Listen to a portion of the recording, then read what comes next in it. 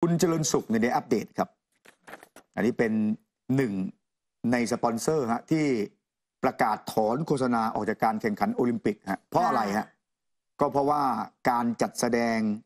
ในพิธีเปิดอืมนะฮะที่มีลักษณะของการเอ่อเยาะเย้ยเสียดสีค่ะนะฮะนะ The Last Supper ไงอืมนี่ฮะค่ะบริษัทโทรคมนาคม C Spry ค่ะนะ ผู้ให้ฮะบริการไร้สายรายใหญ่อันดับ 6 ในอเมริกาก็ประกาศเลยนะคะ อย่างเป็นทางการเลยนะว่าถอนโฆษณาทั้งหมดออกจากการแข่งขันกีฬาโอลิมปิกค่ะเอ่อแล้วก็นี่น่าจะเป็นครั้งแรกฮะที่โอลิมปิกลบคลิปพิธีเปิดฮะอืมคุณเจริญสุขในโพสต์เฟซบุ๊กว่า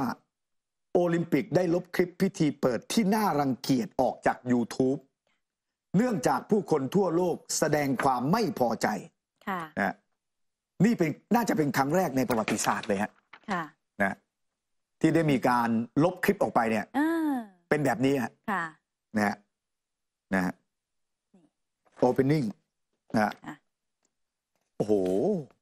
นะคือถูกถูกด่าจนทนไม่ไหวอะกระแสตีกลับเลยค่ะนะฮะอ่าแล้วก็ทางคณะกรรมการโอลิมปิกสากลนะฮะ IOC ได้ออกแถลงการณ์นะฮะนี่อ่ายืนยันว่าไม่ได้มีเจตนาจะแสดงความไม่เคารพ ต่อกลุ่มศาสนาหรือความเชื่อใด อืมๆ นะฮะ ค่ะ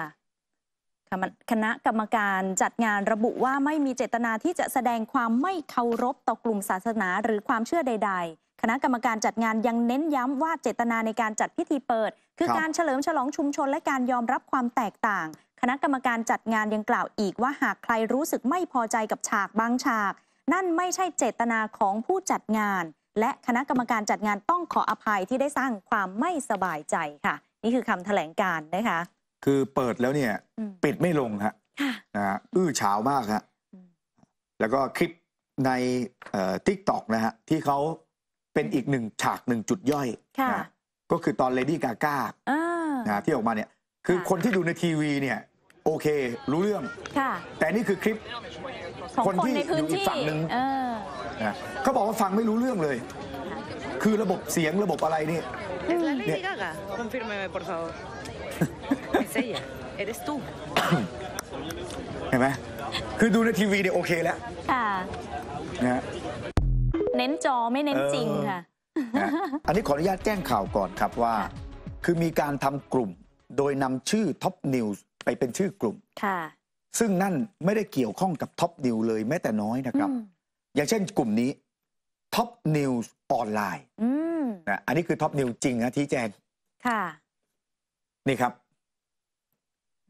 กลุ่มก็คือชื่อข้างบนเห็นไหมฮะ ท็อปนิวส์ออนไลน์ค่ะอันนี้ไม่เกี่ยวข้องกับท็อปนิวเลยฮะ เออแล้วคุณผู้ชมดูดีๆนะเขาพยายามใช้โลโก้ใช้ภาพพื้นสีต่างๆ เลยนะคะ แต่ ขอยืนยันนะคะว่าสถานีข่าวท็อปนิวส์ของเราเนี่ยไม่เกี่ยวข้องค่ะ เพราะว่าล่าสุดอะไร เขาไปมีการเผยแพร่ข้อความค่ะ ที่ไม่เกี่ยวข้องกับทีมข่าวและกองบรรณาธิการนะคะทางท็อปนิวส์ออนไลน์จึงขอประกาศให้บุคคลหรือกลุ่มบุคคลดังกล่าวค่ะ หยุดการกระทำที่ทำให้ท็อปนิวส์ออนไลน์ได้รับความเสียหายในทุกรูปแบบค่ะ โดยการนำทั้งชื่อท็อปนิวส์ไปใช้ แล้วก็เผยแพร่ข้อความให้เกิดความเข้าใจผิดต่อท็อปนิวส์ออนไลน์ด้วยนะคะ นี่เขา มีการไปโพสต์กันเรื่องของพิธีเปิดค่ะ ครับพิธีเปิดโอลิมปิกค่ะ อ่าส่วนจะติดตามท็อปนิวของเราก็ติดตามได้ที่หน้าแฟนเพจชื่อท็อปนิวอืม เป็นแฟนเพจนะไม่ใช่กลุ่ม ค่ะอันนี้เป็นกลุ่มนะไอ้พวกกลุ่มเนี่ยคือก็จะมีคนตั้งกลุ่มมาตั้งแล้วก็ดึงเองคนโน้นคนนี้เข้าไป แล้วก็ใช้ชื่ออันนี้ไม่เกี่ยวกับท็อปนิวเลย ค่ะแล้วก็ข่าวที่เอาไปแชร์ บางเรื่องก็เป็นเรื่องที่ไม่จริงอย่างเงี้ยนะฮะอ่าซึ่งเราไม่ได้เกี่ยวข้องด้วยนะครับค่ะ อ่าแล้วก็เตือนแล้วนะฮะว่าจะดำเนินคดีตามกฎหมาย เพราะว่าบางเรื่องเนี่ยมันทำให้เกิดความเสียหายนะครับ อันนี้ขออนุญาตแจ้งท่านผู้ชมอ่าส่วนติดตามตอนนี้ก็ท่านผู้ชมก็ดูผ่านอืมเอ่อ YouTube ค่ะได้ทั้งสอง YouTube เลยค่ะของแท้ทั้งคู่นะฮะแล้วก็ดูผ่านแฟนเพจอ่าไลฟ์อยู่ตอนนี้ค่ะนะฮะก็สามารถดูได้เช่นกันอืมรวมไปถึงสองแฟนเพจดูผ่านไลน์นะก็ได้นะแอปค่ะท็อปนิวก็ได้เออเราอยู่ล้อมรอบตัวคุณนะแต่ไม่ใช่เป็นกลุ่ม อ่า เอ่ออันนี้ขออนุญาตแจ้งกันค่ะนะอืมนะมาดูสีสันการเมืองนะคะผ่านการ์ตูนกันก่อนค่ะ แนวหน้าการ์ตูนโดยคุณพศนี่ก็เพิ่งผ่านพ้นไปนะสำหรับการแฮปปี้เบิร์ a เดย์อายุครบ 75 ปีค่ะ ของชายหน้าเหลี่ยมนะยูนิฟอร์มก็ยังเป็นนักโทษอยู่นะคะ นี่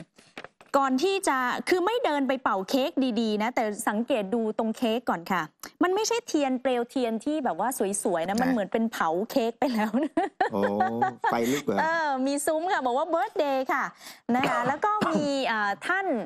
สองท่านนะคะจะมาครับร่วมเบิร์ d เดย์ด้วยหรือเปล่าไม่แน่ใจนะคะท่านยมบาลค่ะนี่ท่านหนึ่งนะ ไปจับตัวนายหน้าเหลี่ยมคนนี้แล้วก็บอกว่า อ๋อเขาขออยู่ต่ออีก 10 40 ปี ท่านจะว่ายังไงครับ นี่ผู้ชายหน้าเหลี่ยมเขาขออยู่ต่ออีก 40 ปีครับนะคะท่านยมค่ะ ท่านก็บอกเลยบอกว่าโอเค เจ้านี่ก่อกรรมทำเข็นไว้เยอะต้องปล่อยให้ตายทั้งเป็น ชดใช้กรรมแบบทรมานในไปอีก 40 ปี